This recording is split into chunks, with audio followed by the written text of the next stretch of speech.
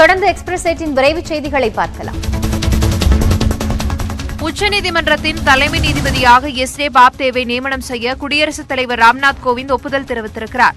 உச்சநீதிமன்ற தலைமை நீதிபதி ரஞ்சன் கோகாய் அடுத்த மாதம் பதினேழாம் தேதியுடன் ஓய்வு பெறுகிறார்.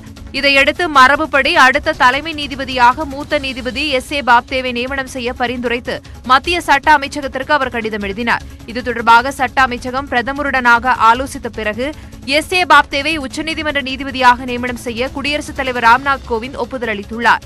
இதையடுத்து நவம்பர் பதினெட்டாம் தேதி குடியரசுத் தலைவர் மாளிகையில் நடைபெறும் நிகழ்ச்சியில் உச்சநீதிமன்ற தலைமை நீதிபதிக்கு குடியரசுத் தலைவர் பதவி பிரமாணம் செய்து வைக்கிறார்.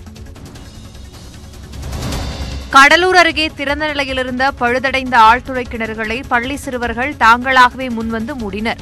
திட்டக்குடி அடுத்த சிறுமுளை பெருமுளை நெடுங்குளம் உள்ளிட்ட கிராமங்களில் முப்பதற்கும் மேற்பட்ட ஆழ்துளை கிணறுகள் உள்ளன. இதில் பத்திற்கும் மேற்பட்டவை பழுதடைந்த நிலையில் மூடப்படாமல் இருந்தன. இவற்றை அந்த பகுதியைச் சேர்ந்த பள்ளி சிறுவர்கள் தாங்களாகவே முன்வந்து ஓடுகள் சாக்குப்பைகளை கொண்டு மூடினர். இந்த நிலையில் இதேபோன்று பல கிராமங்களில் பழுதடைந்த நிலையில் ஆழ்துளை கிணறுகள் உள்ளதாகவும் அவற்றை மூட சம்பந்தப்பட்ட அதிகாரிகள் நடவடிக்கை எடுக்க வேண்டும் எனவும் பொதுமக்கள் கோரிக்கை வைத்தனர். முதுகலை ஆசிரியர் பணி தேர்வில் வெற்றி பெற்றவர்களுக்கு நவம்பர் எட்டு மற்றும் ஒன்பது ஆகிய தேதிகளில் சான்றிதழ் சரிபார்ப்பு நடைபெறும் என்று ஆசிரியர் தேர்வு வாரியம் அறிவித்துள்ளது. அரசு கல்லூரிகளில் காலியாக உள்ள இரண்டாயிரத்து முன்னூற்று நாற்பது உதவி பேராசிரியர் பணியிடங்களுக்கான தேர்வு செப்டம்பர் இருபத்தி ஏழு முதல் இருபத்தி ஒன்பதாம் தேதி வரை நடைபெற்றது. இதைத் தொடர்ந்து தேர்வர்களுக்கான தகுதி மதிப்பெண்ணை வெளியிட்ட ஆசிரியர் தேர்வு வாரியம் தகுதி பெற்றவர்களுக்கு குறுஞ்செய்தி மூலம் சான்றிதழ் சரிபார்ப்புக்கு வருமாறு அழைப்பு விடுத்திருக்கிறது. இதற்காக இன்று முதல் நவம்பர் ஒன்றாம் தேதி வரை அவர்கள் தங்கள் சான்றிதழ்களை W W W dot TN dot TRB dot NIC dot in என்ற இணையதளத்தில் பதிவேற்றம் செய்ய உத்தரவிட்டுள்ளது. கன்னியாகுமரி மாவட்டம் நாகர்கோவில் அருகே தனியார் பெட்ரோல் பங்கில் கலப்பட பெட்ரோல் விநியோகிப்பதாக கூறி வாடிக்கையாளர்கள் வாக்குவாதத்தில் ஈடுபட்டனர்.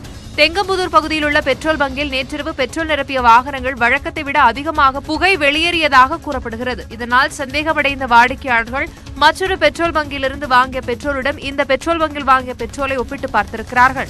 அப்போது நிறத்தில் மாற்றம் இருக்கவே ஆத்திரமடைந்தவர்கள் சம்பந்தப்பட்ட பெட்ரோல் பங்கை முற்றுகையிட்டு பணியாளர்களுடன் வாக்குவாதத்தில் ஈடுபட்டனர்.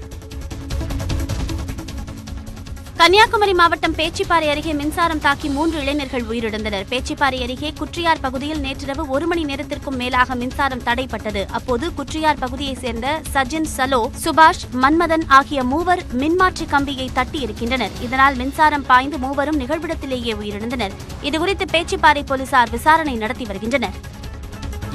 மேலும் செய்திகளை விரிவாக தெரிந்து கொள்ள நியூஸ் எயிட்டின் தமிழ்நாடின் ஃபேஸ்புக் யூடியூப் ட்விட்டர் உள்ளிட்ட வலைதள பக்கங்களை பாருங்கள்.